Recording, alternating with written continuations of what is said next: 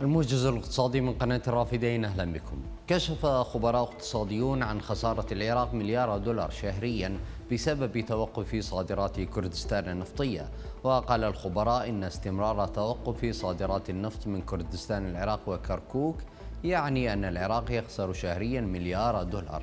مؤكدين أن العراق يخسر نحو 25 مليون دولار يوميا بسبب توقف الإنتاج في كردستان.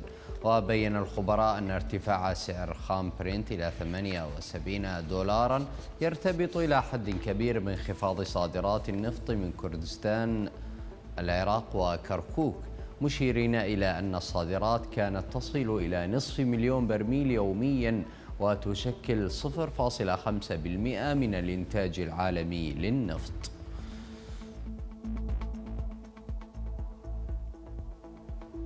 عزى رئيس اللجنة المالية النيابية عطوان العطواني عدم استقرار الاقتصاد العراقي بسبب الاعتماد على النفط في إيرادات الدولة.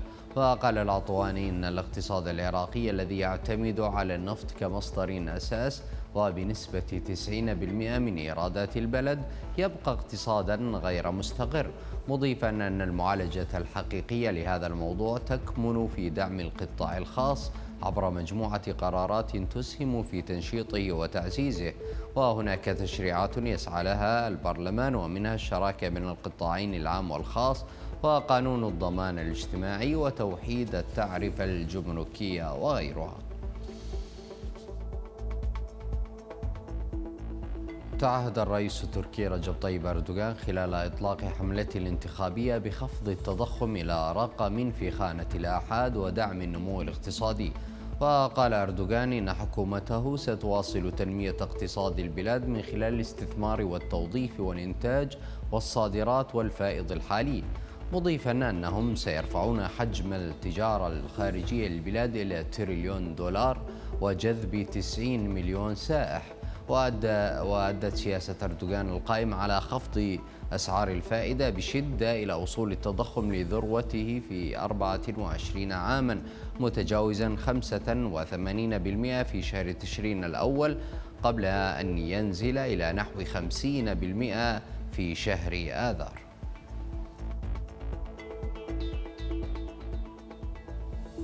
استقرت أسعار النفط في الغالب حيث تنتظر السوق بيانات التضخم الأمريكي التي من المرجح أن تؤثر على سياسة مجلس الاحتياطي الفيدرالي بشأن رفع أسعار الفائدة في المستقبل. هذا وارتفع خام برنت بمقدار ثلاثة سنتات ليصل إلى 85 دولارا و64 سنتا. فيما انخفض خام غرب تكساس الوسيط الأمريكي بمقدار سنتين ليصل إلى 81 دولارا و51 سنتا للبرميل. في غضون ذلك أظهرت بيانات من معهد البترول الأمريكي ارتفاع مخزونات الخام بنحو 380 ألف برميل في الأسبوع المنتهي في السابع من نيسان. كما ارتفعت مخزونات البنزين بنحو 450 ألف برميل وفي حالة سلبية للطلب على النفط قلص صندوق النقد الدولي أمس توقعاتي للنمو العالمي لعام 2023 مشيرا إلى تأثير ارتفاع أسعار الفائدة.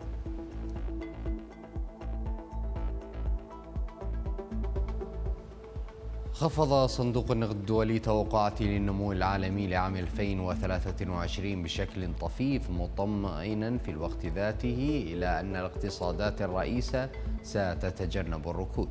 وتوقع الصندوق أن ينمو الاقتصاد العالمي هذا العام بنسبة 2.8% بانخفاض طفيف عن تقديراته السابقة كما خفض بالنسبة عينها توقعات للنمو الاقتصادي في عام 2024 إذ باتت 3% وكانت المدير العامة لصندوق النقد الدولي كريستالينا غورجيفا قد رأت أن الوضع كان سيكون أكثر قتامة لولا تأثيرات إعادة فتح الصين.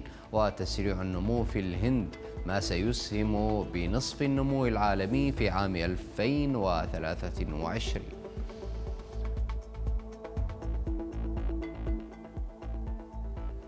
والآن مع أسعار العملات الأجنبية وأسعار المعادن.